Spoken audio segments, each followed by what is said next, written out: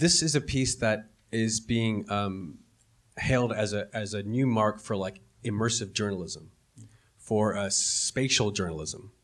Uh, and it's kind of great. I mean, the, the, way it was put together and the access you got. I mean, I don't know. I, it's rare to get this kind of access to these kind of stories in, in Palestine. Um, tell me about how that changes authorship. And as, as say, if you were a journalist and you're going in as a journalist, you can you can select and you can highlight and you can contextualize. This makes it much freer. Mm-hmm. How do you th- how do you think that affects the way we take in these kind of international stories and journalism itself? Mm-hmm. You know, so I just watched uh, um, a VR film, and it was kind of your uh, your traditional journalism, and it, it, was in Gaza, and they were it was a journalist, and they were talking to you, and they kind of had a microphone, and, they, and it was a little so bit, natural. Yeah, and I was like, this is different than I, I think what we've uh, we've created a, a, a little bit.